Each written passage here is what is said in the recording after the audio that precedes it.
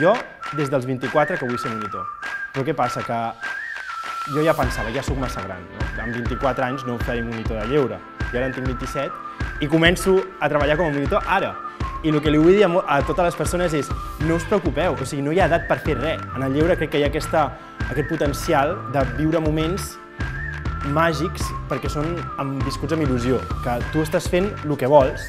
Jo he fet un intensiu, llavors per mi els, els professors van demonitzar-los d'una manera que jo em sentia nen. Jo em sentia nen descobrint un món nou i aprenent molt com automàticament. Si algú em diu, repetiries aquesta experiència perquè sí, no? formar-te com a moni, ho repetiries? Doncs jo diria sí. El meu consell seria regala't a tu aquesta setmana de formació intensiva i super enriquidora.